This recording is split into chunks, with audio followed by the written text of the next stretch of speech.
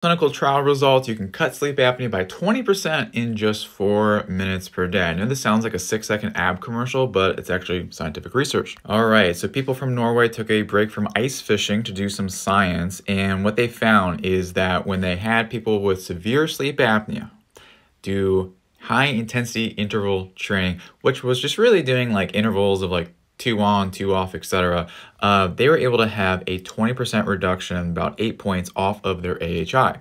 But there's a lot more impressive going on underneath because these guys, they didn't lose any weight, they didn't track any calories, they didn't do any of that. They just improved their body's metabolism and were able to have better breathing at night as a result.